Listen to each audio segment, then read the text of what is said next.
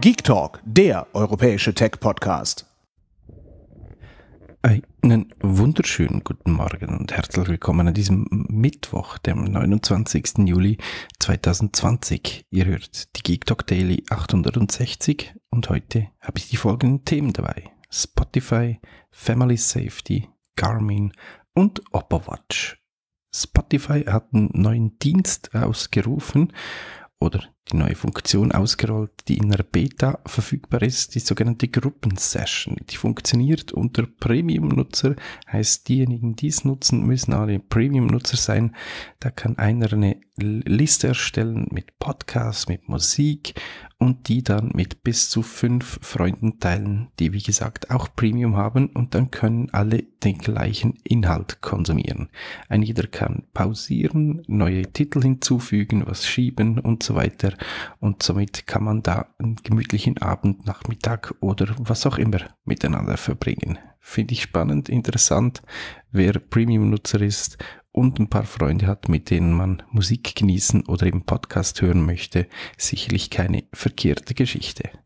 Im Mai diesen Jahres hat Microsoft, und darüber haben wir im pogipsy.ch Blog schon berichtet, eine App angekündigt, die auf den Namen Family Safety hört, die ein Möglichkeit bietet, den Eltern ein bisschen mehr Kontrolle zu bringen in das kindliche Internet nutzen und das übergreifend, egal auf der Xbox, auf dem Android, auf Windows 10 oder auf dem iOS-Device.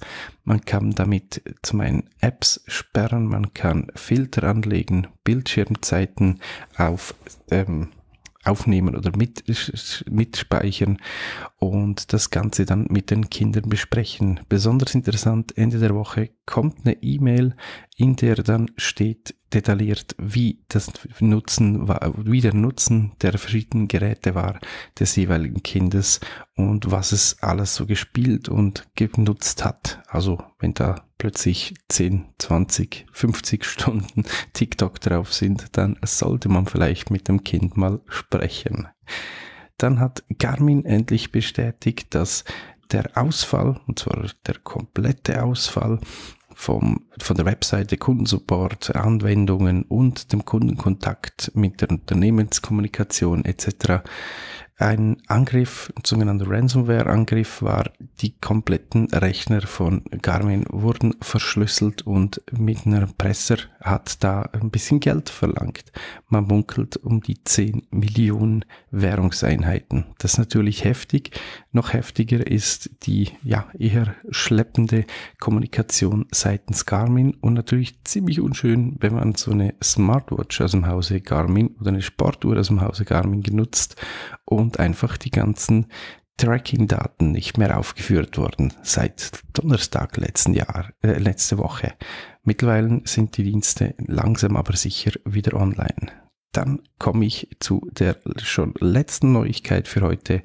Oppo Schweiz hat bestätigt, dass die Oppo Watch bald in die Schweiz kommt. Für knapp 249 oder 299 Schweizer Franken, je nachdem welche Größe man nimmt, bekommt man die Smartwatch aus dem eigenen Hause, die schick ausschaut, die auf zwei Chips basiert, Snapdragon Wear 3100 und den Apollo 3 Chip. Der erste ist für die Leistung zuständig, der zweite für die Energieeffizienz. Ansonsten ist einiges Schönes an Technik drin verbaut und ich bin schon gespannt und hoffe, dass ich mir die Uhr bald mal ein bisschen genauer anschauen kann. Das war's schon mit den heutigen Neuigkeiten. Ich hoffe, ihr habt ein bisschen was mitnehmen können. Habt einen schönen und erfolgreichen Tag. Heute wird's auch wieder recht warm, glaube ich. Äh, ja, genießt es. In diesem Sinne, bis morgen, wenn ihr mögt. Euer Poughkeepsie. Tschüss.